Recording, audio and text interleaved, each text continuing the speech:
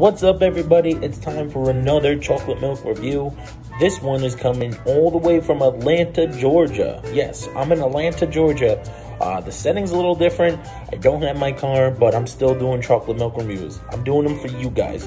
This one is Borden Dutch chocolate milk. Hey everybody, I am from Holland. Isn't that weird? Borden Dutch chocolate milk.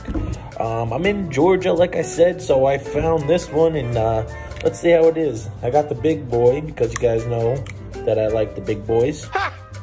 Gay! Well, see what this this gives us.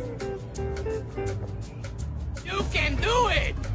You can do it all night long!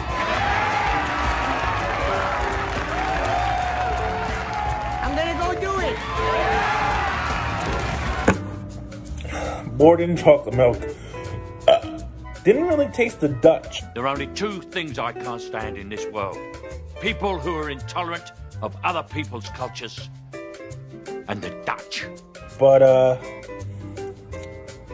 definitely tasted the chocolate. Definitely tasted the milk. Left a little on my stash.